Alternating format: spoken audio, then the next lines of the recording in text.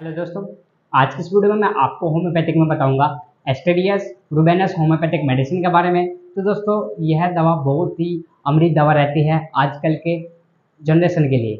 मतलब कि जब उनको एक्ने और पिंपल्स की समस्या बनी रहती है तो उसमें यह बहुत ही अमृत दवा रहती है। तो आपको मेरी वीडियो को ज़रूर यूज़ देखना चाहिए और इस मेडिसिन के बारे में आपको जानना चाहिए कि यह कितनी लाभकारी दवा रहती है। तो दोस्तों, अगर आप मेरी वीडियो को लास्ट तक देखते हैं तो आप इस मेडिसिन के बारे में काफ़ी आसानी से समझ पाएँगे। तो दोस्तों चलिए शुरू करते हैं। तो मैं डॉक्टर अमन कश्यप मेरे चैनल पर आपका स्वागत है। जल्दी से जल्दी इस वीडियो को लाइक कीजिए और अभी तक मेरे चैनल को सब्सक्राइब नहीं किया तो इस रेड कलर के बटन को होम्योपैथिक में बात करेंगे एस्ट्रियस रूबेनस होम्योपैथिक मेडिसिन के बारे में।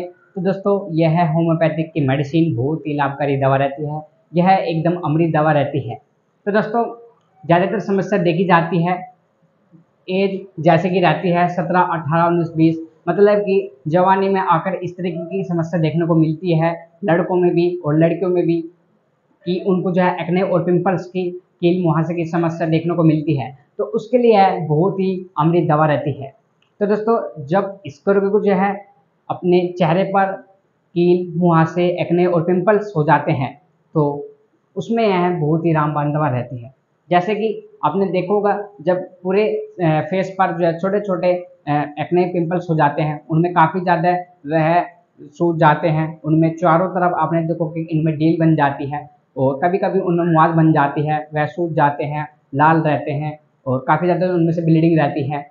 उसमें यह बहुत ही अच्छा वर्क करती है और कहीं ना कहीं इस तरीके की कंडीशन की वजह से इसको जो है पूरे फेस पर जो है अकड़ाट सा बना रहता है तो उसमें यह बहुत ही अच्छा वर्क करती है। जब सत्रह अट्ठारह की उम्र जब हो जाती है उन्नीस बीस इस तरीके की जो जवानी में आकर इस तरीके की आपको काफ़ी ज़्यादा कंडीशन देखने को मिलती है कि काफ़ी ज़्यादा पिंपल्स की समस्या बनी रहती है चेहरे पर तो उसमें यह बहुत ही अच्छा वर्क करती है। बात करते हैं। और लक्षण की ओर। तो दोस्तों इसके रूप जो हेडेक की समस्या बनी रहती है काफ़ी ज़्यादा सिर दर्द बना रहता है और इसको गर्मी में काफ़ी ज़्यादा कष्ट बढ़ जाता है और इसके रूप को ऐसा लगता है कि मैं गर्म हवा से एक शुगर जैसे मतलब घिरा हुआ हूँ, इस तरह की जो है इस को अनुभूति बनी रहती है। तो उसमें यह बहुत ही लाभकारी दवा रहती है। तो दोस्तों, यह बहुत ही अच्छा वर्क करती है स्किन पर। मतलब कि जब इन्फेक्शन वगैरह हो जाता है तो उसको भी यह ठीक करती है। और दोस्तों, बहुत ही अच्छा वर्क करती है जब इसको सोराइसिस की समस्या बनी रहती है तो उसमें भी यह बहुत ही लाभकारी दवा रहती है।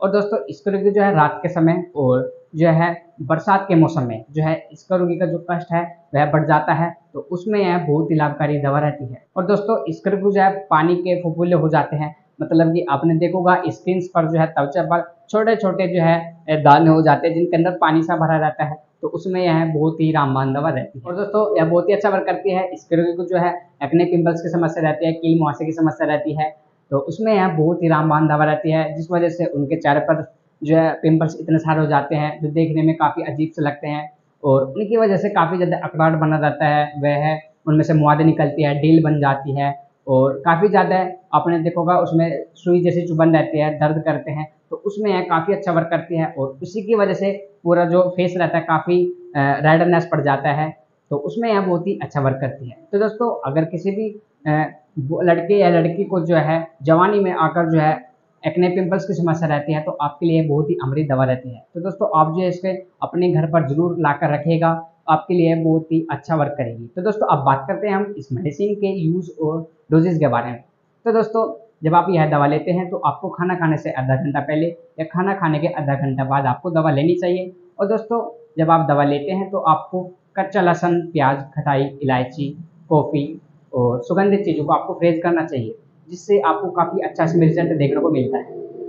और दोस्तों, जब आप यह दवा लेते हैं तो आपको जो है इसकी पोटेंसी का ज्ञान होना चाहिए कि है आपको कौन सी पोटेंसी की लेनी है। जैसे कि थर्टी दो सौ वन एम क्यू पोटेंसी आप जो है डॉक्टर के बताए अनुसार आप इसका यूज़ करें। तो दोस्तों, अगर यह आप लेना चाहते हैं एस्ट्रेस रुबेनिया होम्योपैथिक की मेडिसिन तो दोस्तों ये है आप आसपास के होम्योपैथिक क्लिनिक शॉप से या फिर जो है इसको आप ऑनलाइन ऑर्डर कर कर मंगा सकते हैं। तो दोस्तों, आज की वीडियो में इतना ही। आगे की आने वाले वीडियो के लिए मेरे चैनल को आप जो है सब्सक्राइब करें, जिससे मेरे चैनल की सबसे पहले वीडियो आप तक ज़रूर पहुँचे।